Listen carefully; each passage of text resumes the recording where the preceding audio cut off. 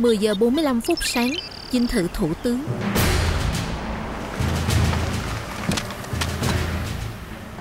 Mọi chuyện vẫn ổn chứ? Mọi chuyện ok. Cục trưởng nói 10 phút sau xuất phát được rồi.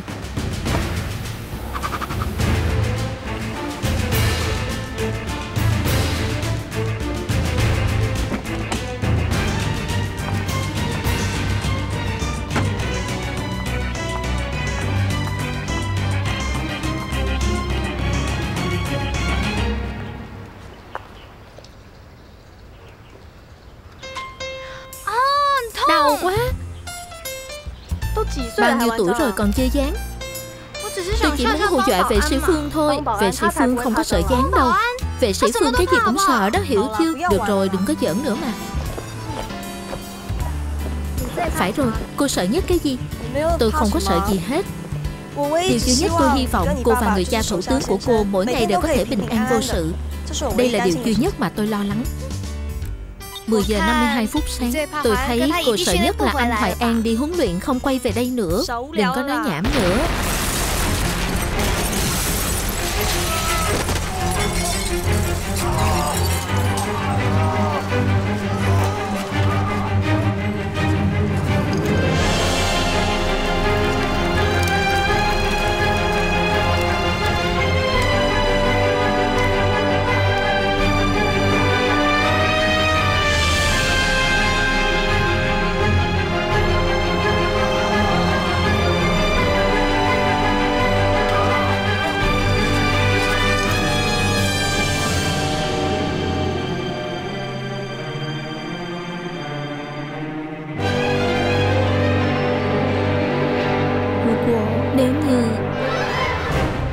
nếu như thời gian có thể dừng vào sáng hôm ấy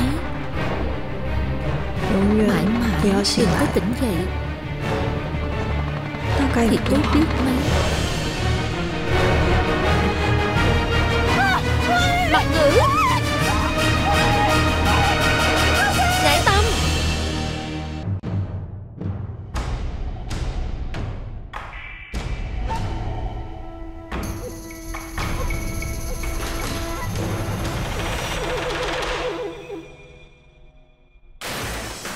Với các diễn viên. Trần Di Dung trong vai, Kim Tương Ngọc. Kha Giai Tiến trong vai Khưu Mặt Ngữ. Vương Dương Minh trong vai, Châu Hoài An. Tại Giai Kiến trong vai, Tiểu Đao. Quan Thi Mẫn trong vai, Ngải Tâm. Kiêu Lục Hào trong vai, Liễu Duy Đức. Thàn Chí Vĩ trong vai, Khưu Khải Hiền. Hibino Akira trong vai, Tào Thiệu Khâm chiêu Tấn trong vai Tiểu Tam cùng một số diễn viên khác. Nhà xuất bản Trương Hiếu Uy, nhà phát hành Dương Minh, Dương Thịnh Dục, Liêu Phúc Thuận, giám chế Đới Vĩ Dịch, Trương Thục Đình, nhà chế tác Lưu Vĩ Từ, Trần Khải Minh, biên kịch Ngô Cẩn Dung, Long Vũ Thần, đạo diễn Vu Trung Trung.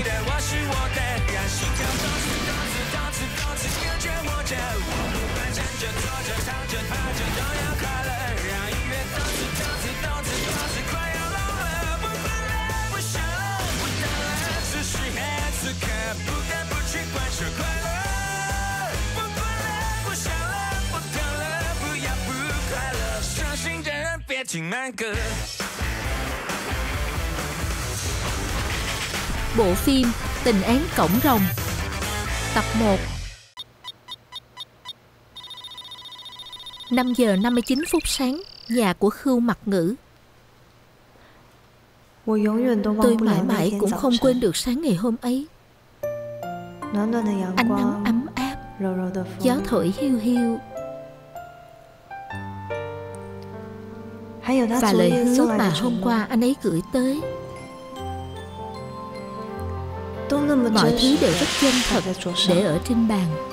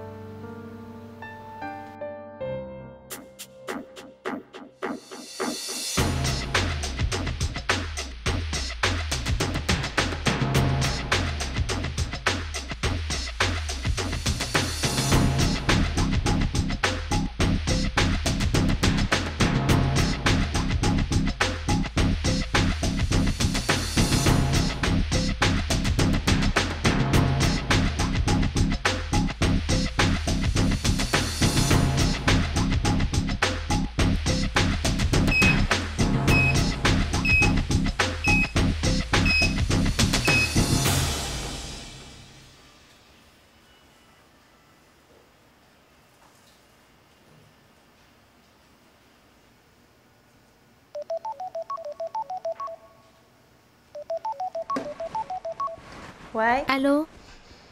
Em thức chưa mỹ nhân ngủ say. Em dậy từ sớm rồi Có nhiệm vụ em không ngủ nướng đâu. Hôm qua em nhận được đồ anh gửi tới chưa Nhận được rồi. Em thích không? Em để nó ở bên mình Làm bùa hộ thân cho em. Vậy đáp án của em là gì? Giờ em vẫn không nỡ đeo vào ngón tay Đợi anh về rồi mới nói với anh. Tạm biệt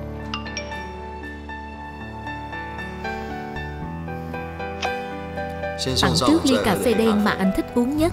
Mong em có một ngày tâm trạng thật tốt, nhiệm vụ thuận lợi.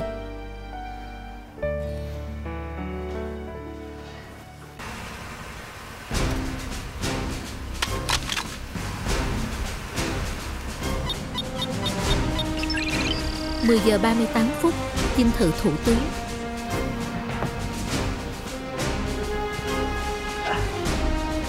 Chào cục trưởng,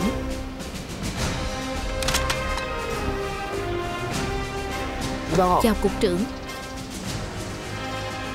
Cây này của thủ tướng phải không? Phải. Hôm qua chính tay thủ tướng lựa chọn. Được. Đem vào trong. Dạ.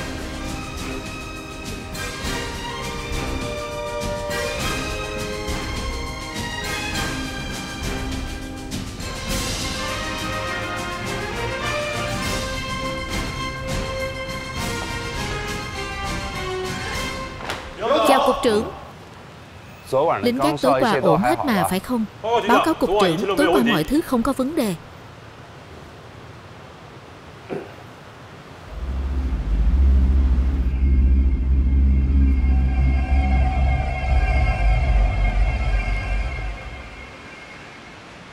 Chào ngải tiểu thư. Hôm nay tôi đi dạo phố Không cần anh ta đi theo. Tiểu thư Tôi tên vệ sĩ Phương. Vệ sĩ Phương. Ở cục an toàn gọi là vệ sĩ Phương. Cái này là gì? Nghệ danh hả? Tiểu thư hãy yên tâm. Hôm nay Khương mặt ngữ đi theo tiểu thư. Vậy thì tốt. Đây là gì? Đây là quà tặng cho thủ tướng Ankelu Nhảm nhí. Đi nha.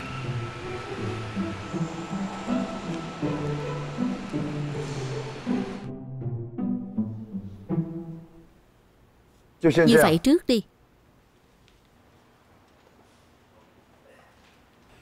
Chào Thủ tướng. Chào. Báo cáo Thủ tướng. Liên quan tới hành trình đi đón Thủ tướng Ankelu Làm theo những gì lúc nãy tôi nói đi. Dạ.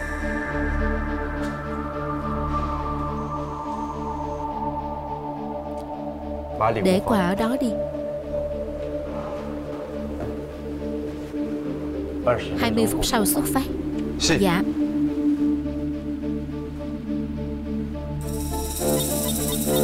Mười giờ 50 phút sáng.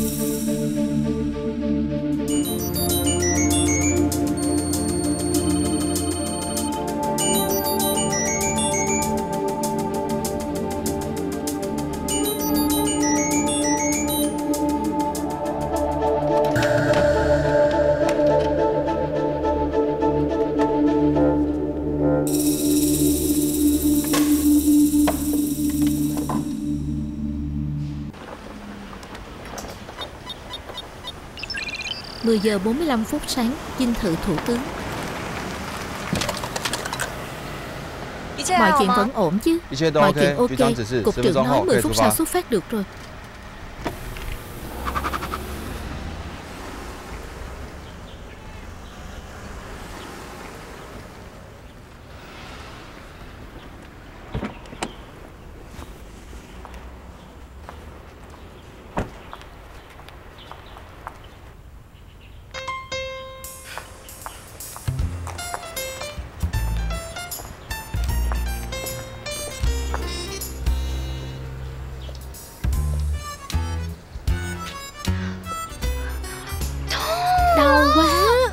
Bao nhiêu tuổi rồi còn chơi dáng Đừng có giỡn nữa.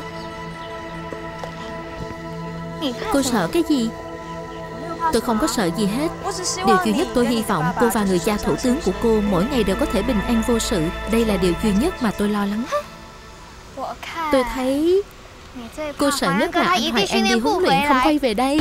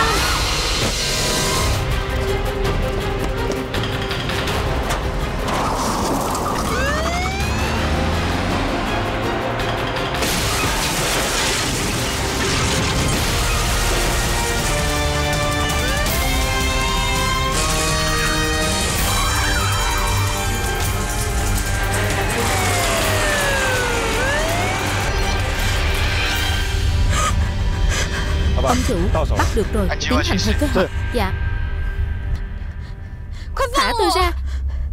Các người dám bắt cóc con gái thủ tướng. Coi chừng tôi tim ba tôi Tim ngay? Nói nhiều quá làm gì?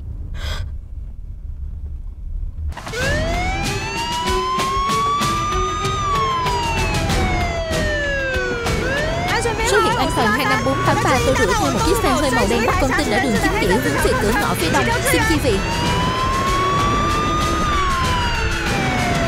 Số hiệu an toàn 25483 xin chi viện Mặt ngữ Im ngay. Sao không ai trả lời vậy?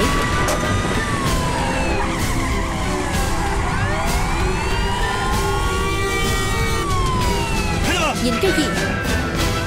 Nhanh lên.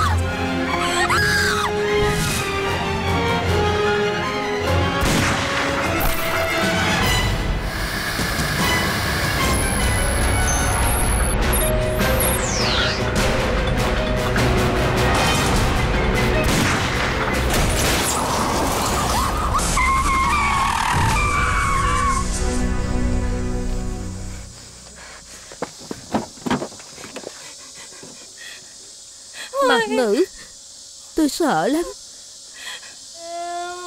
Tôi sợ lắm.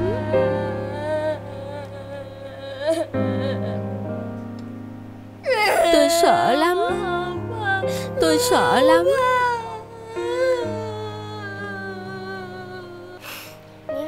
Anh dũng cảm lắm. Anh đừng sợ. Anh sợ lắm.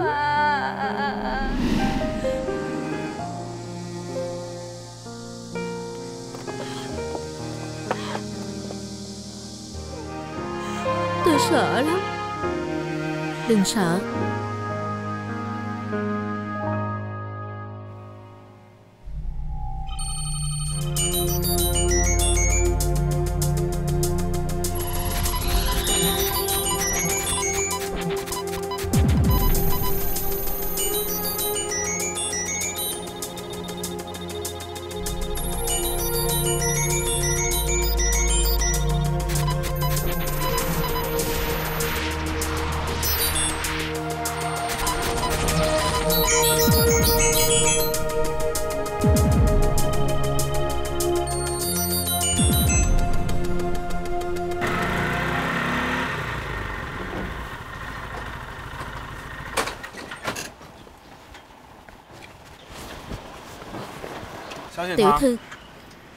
Cô ấy không sao Nhưng chắc là sợ quá rồi Nên đi mời bác sĩ tới khám cho cô ấy. Tình hình bên này sao rồi? Giờ chúng tôi phụ trách bảo vệ cho cô ấy Giờ sẽ đưa cô ấy tới chỗ ở tạm thời.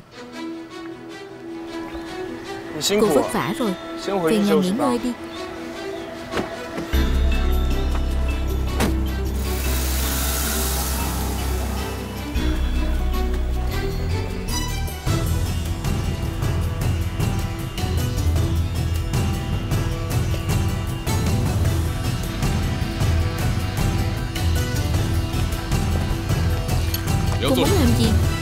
Chỗ này do phòng hình sự tiếp quản rồi. Ông đừng nhiều chuyện. Cô không được phép vào hiện trường vụ án. Chắc cô cũng biết rõ hậu quả mà. Tôi làm gì cũng không liên quan tới ông. Thủ tướng mất tích rồi. Dinh thự thủ tướng nổ tung. Những thứ liên quan quá nhiều, quá phức tạp. Bây giờ Cục An toàn đã dừng hết mọi hoạt động. Phó Thủ tướng ra lệnh phòng hình sự tiếp quản. Còn nữa Bà cô bị thương nặng. Bà tôi bị sao vậy? Đã đưa tới bệnh viện quân y 305 Tình hình cụ thể tôi cũng không rõ lắm.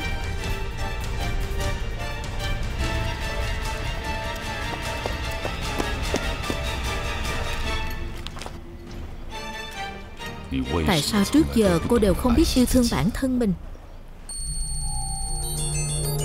Tài liệu tải lên thành công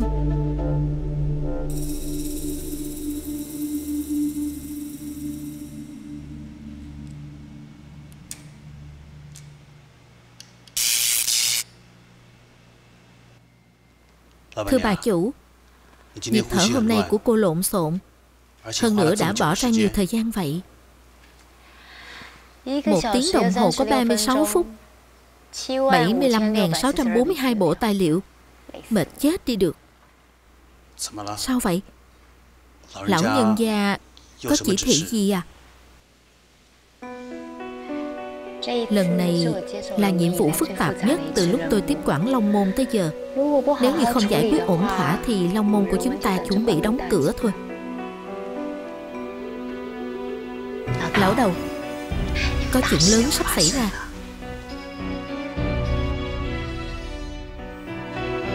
Chuyện lớn thật sự đó.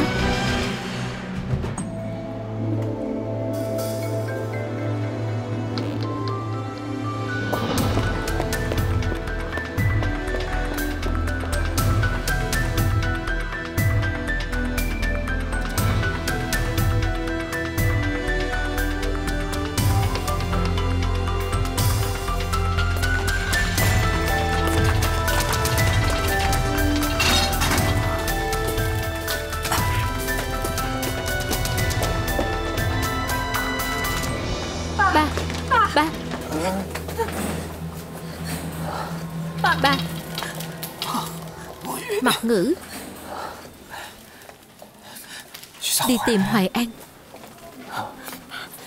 Ba, con biết rồi. Đừng có manh động. Phải đi, Nhất định phải đi. Con sẽ điều tra mọi chuyện rõ ràng. Mặt ngữ Xin lỗi Khưu tiểu thư. Khưu tiên sinh có liên quan tới vụ án này, Nên lần này phải ở phòng bệnh đặc biệt. Xin lỗi cô Cô không được tiếp xúc với Khưu tiên sinh nữa.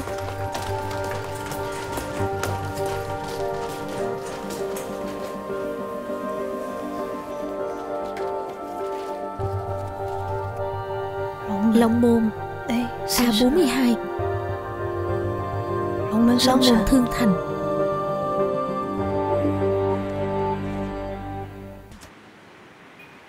Anh tránh ra cho tôi. Tránh ra đi. Tôi chỉ cần mặt ngữ. Vậy tôi để bữa tối ở đây nha. Anh dám. Anh ra ngoài đi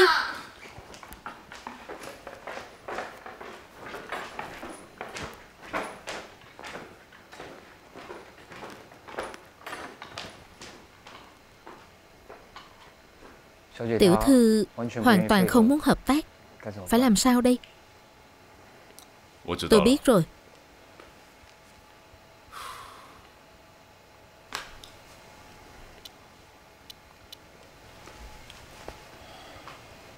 Alo. Tôi đây. Tào Thiệu Khâm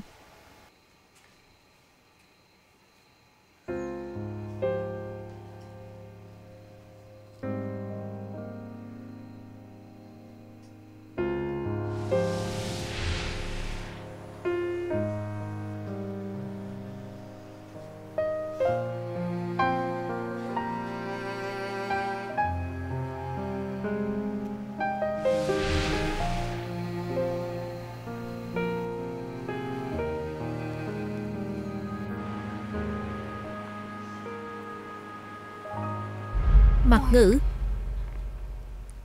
Suốt cuộc đã xảy ra chuyện gì vậy? Ngải tâm. Cô nghe tôi nói. Thủ tướng Đã mất tích rồi. Ba tôi mất tích rồi. Sao lại như vậy? Tôi cũng không biết. Khi xảy ra vụ nổ Chiếc xe xong tới bắt cô đi. Tất cả mọi chuyện hình như sắp xếp rất trùng hợp. Tôi đang nghĩ Vụ nổ này và bắt cóc chắc chắn liên quan tới chuyện thủ tướng mất tích. Người bắt nãy tâm hình như không cố ý muốn làm cô ấy bị thương. Nhưng bây giờ nghĩ lại hình như di chuyển sự chú ý của mình. Có điều Tại sao lại tách mình ra khỏi đó?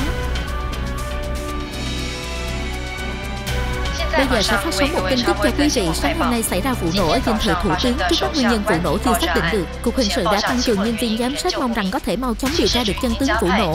Còn thủ tướng vì vụ nổ nên không được khỏe, chắc chắn không thể xuất hiện ở buổi lễ quốc gia vào ngày mai. Theo người phát ngôn của chính phủ, buổi lễ quốc gia ngày mai sẽ do phó thủ tướng tạm thời chủ trì. Còn thiên kim thủ tướng Ngải Tâm Tiểu Thư vốn dĩ cũng sẽ tham dự nhưng vì tình hình sức khỏe nên không thể tham dự buổi lễ lần này. Chúng ta cùng nghe một đoạn phỏng vấn ngắn. Bởi vì sức khỏe của thủ tướng không ổn trong khoảng thời gian ngắn không thể chủ trì quốc gia đại sự theo lời dặn của thủ tướng trong khoảng thời gian này sẽ do tôi toàn quyền quyết định có nguồn tin cho hai người chủ yếu liên quan tới vụ nổ lần này chính là khưu khải hiền cục trưởng cục an toàn hiện nay. không thể nào. Tuyệt đối không phải ba mình. Rốt cuộc trong này đã xảy ra chuyện gì?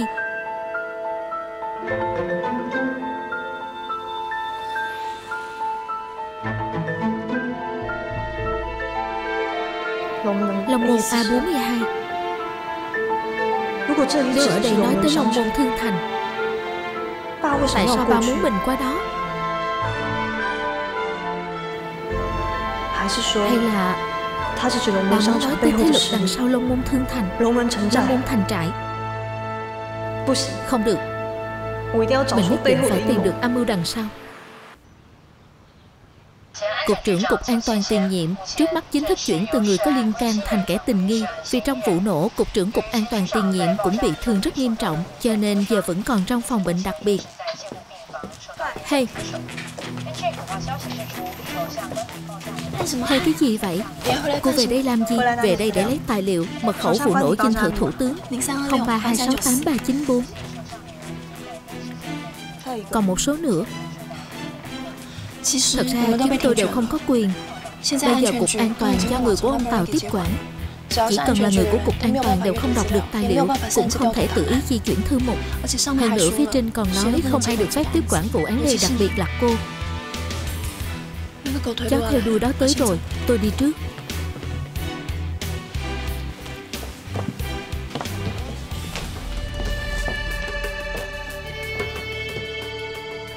Cô là người thông minh. Không cần tôi phải mở miệng.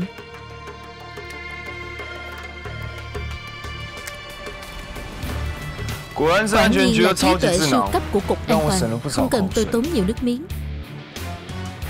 Tự mình làm tốt việc của mình là được rồi. Bây giờ Cục An toàn xui xẻo biết bao nhiêu.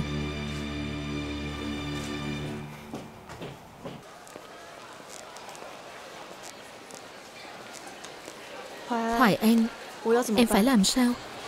Chắc chắn sẽ có cách.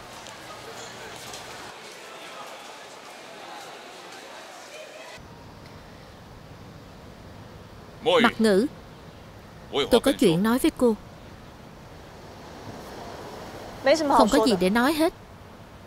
Tôi khuyên cô đừng xen vào. Vậy mà cô về điều tra tài liệu. Tại sao vậy? Tại sao lúc nào cô cũng chống đối với tôi? Ông buông tay ra. Tôi nói. Ông buông tay ra. Nghe tôi nói Có nhiều chuyện cô phải né tránh đi. Cô có biết bây giờ người bị nghi ngờ không chỉ có Khưu Khải Hiền Mà cô cũng vậy. Xin tôi đi. Tôi muốn tốt cho cô. Tôi không cần ông muốn tốt cho tôi. Vụ án này tôi sẽ tự điều tra rõ ràng. Tôi nói lại lần nữa Bắt đầu từ bây giờ. Cô không cần làm gì hết.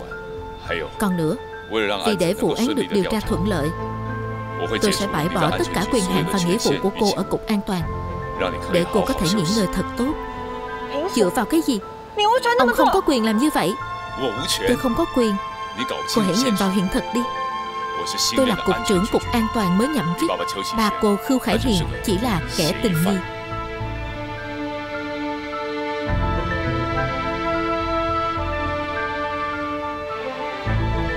Bà tôi ba tôi là trong sạch.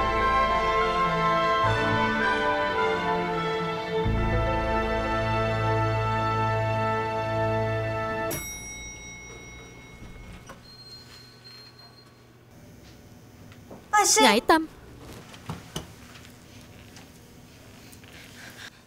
Mặt ngữ. Cô có biết giờ ở ngoài nguy hiểm lắm không? Cô là người rất quan trọng. Sao cô có thể tùy tiện chạy ra bên ngoài Ở trong tình trạng không được bảo vệ chứ?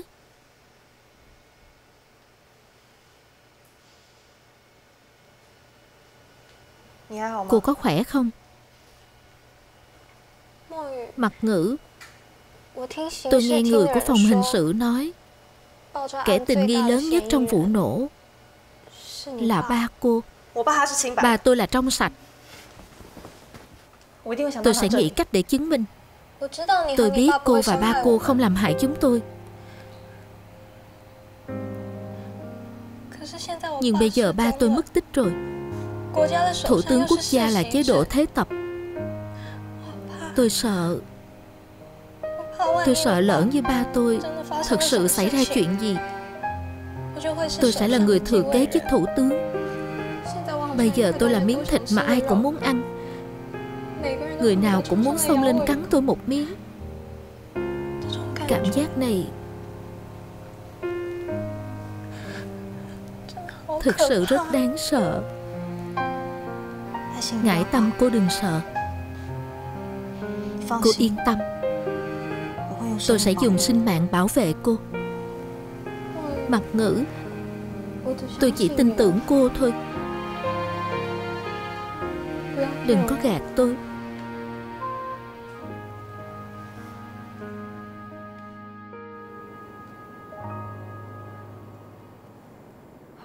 Hoài An, Em nên kêu anh về đây không? Em biết ước mơ của anh. Huấn luyện cũng sắp kết thúc rồi. Lúc này em kêu anh quay về thì nỗ lực trước đó đều uổng phí hết. Long môn thương thành. Nơi đó rõ ràng là nơi không phân biệt trắng đen. Đơn vị chính phủ trước giờ né tránh cũng không kịp. Tại sao ba lại kêu mình đi tới đó? Cho dù mình thật sự tới đó mình làm sao vào trong đó được? Hoài an. Em thật sự nhớ anh lắm. Nhớ anh lắm.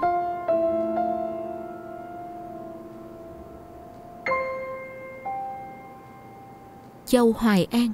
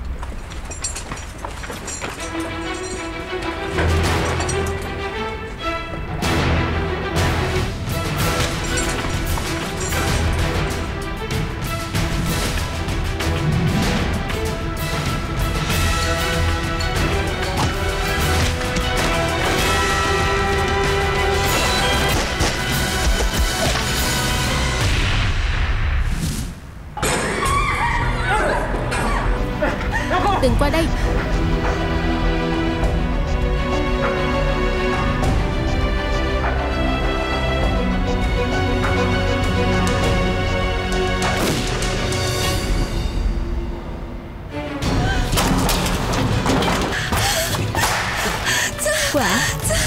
Quả bom.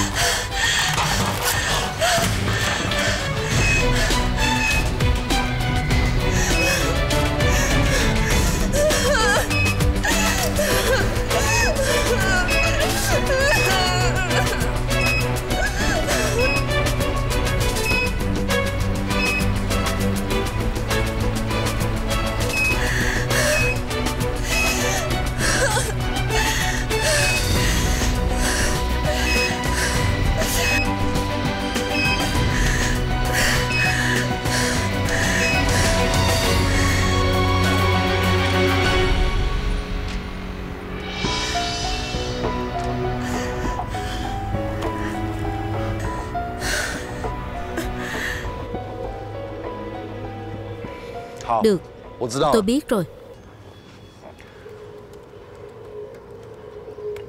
Cục trưởng Cục An toàn tiền nhiệm trước mắt chính thức chuyển từ người có liên can thành kẻ tình nghi Vì trong vụ nổ, Cục trưởng Cục An toàn tiền nhiệm cũng bị thương rất nghiêm trọng. Chuyện này là sao chứ?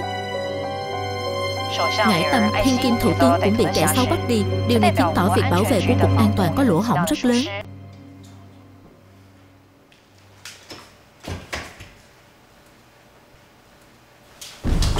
Đứng yên.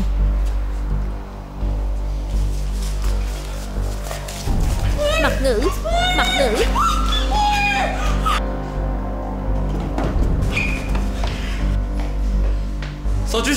giơ tay lên.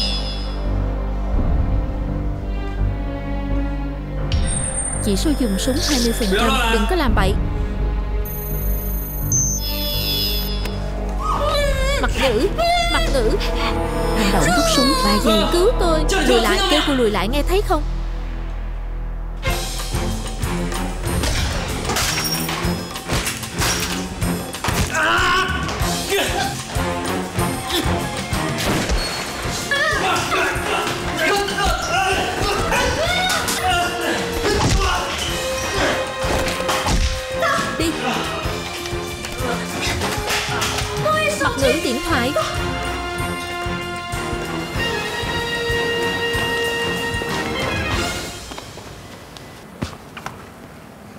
Cục trưởng Để họ đi đi. Nhưng rõ ràng chúng ta đã làm theo là được. Vậy Hay là tôi quay về phát thông báo cho các đơn vị. Kêu mọi người dốc hết sức đi tìm. Ừ, Dạ. Đám người lúc nãy và đám người lần trước bắt cóc cô Chắc không phải cùng một nhóm đâu. Sao cô biết chứ? Đám người lần trước chỉ muốn cô chứ không có muốn giết cô Nhưng mà lần này Sự việc càng ngày càng phức tạp Tại sao chứ Tại sao họ lại muốn giết tôi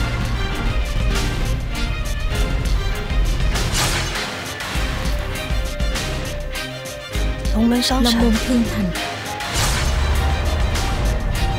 có lẽ phải để cô ở chỗ đó mới là an toàn nhất.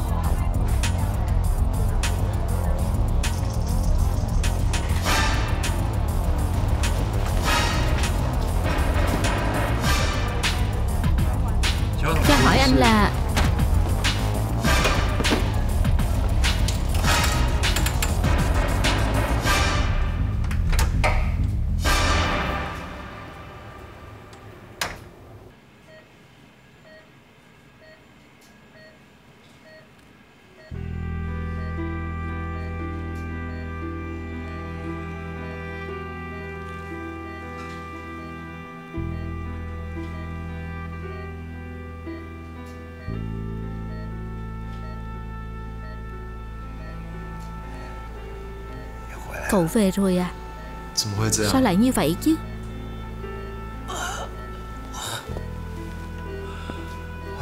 Tôi cũng không biết tại sao lại như vậy. Tôi chỉ mới nói vài lời với thủ tướng. Món quà trên bàn đột nhiên nổ tung. Những chuyện sau này con biết hết rồi. Chú yên tâm. Con nhất định điều tra ra chân tướng Trả lại công bằng cho chú. Bây giờ điều quan trọng nhất chính là cứu được thủ tướng. Chỉ cần tìm được thủ tướng, tất cả mọi chuyện sẽ rõ ràng hết. Nhưng giờ điều tôi lo lắng nhất chính là an nguy của mặt ngữ. Mặt ngữ có gọi điện thoại cho con, nhưng sau đó con không tìm được cô ấy nữa. Long môn thành trại. Chắc chắn nó đã tới long môn thành trại. Long Môn thành trại. Nơi đó không có ai quản lý. Với tính cách của mặt ngữ Chắc chắn không qua lại với thế lực ngầm đâu. Chú kêu cô ấy tới Long Môn thành trại. Tại sao vậy? Lúc chúng ta còn ở cục an toàn Đương nhiên phải đứng về phía chính nghĩa. Nhưng giờ thì khác rồi. Tôi nằm ở đây Không giúp được gì cho nó. Cho nên tôi chỉ đành Đưa nó tới đó. Tôi biết rất mạo hiểm. Có lẽ Còn có một đường sống.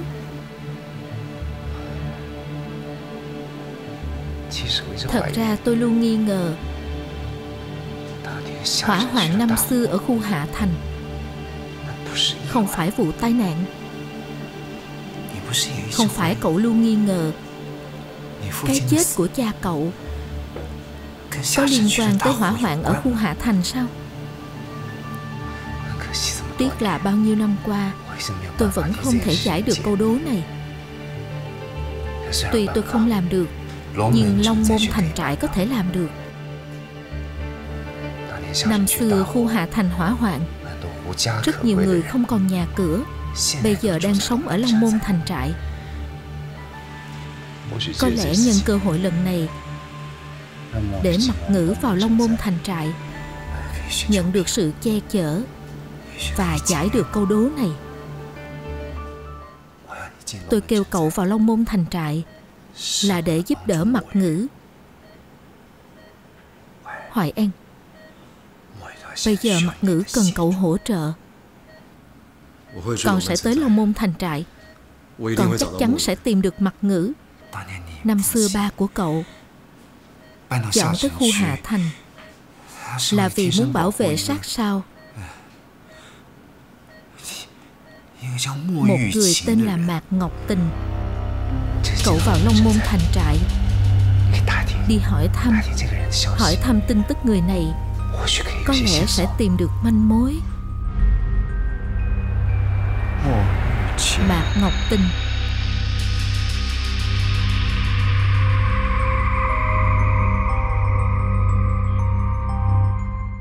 Nội dung tập sau. Chỗ này là nơi tập trung của tất cả thế lực nhau.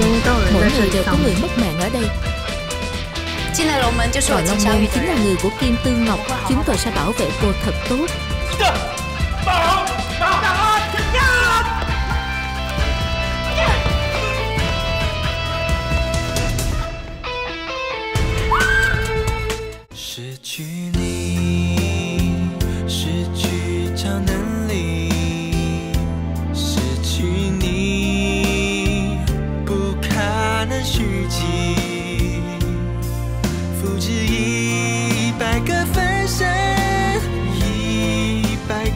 一生复制不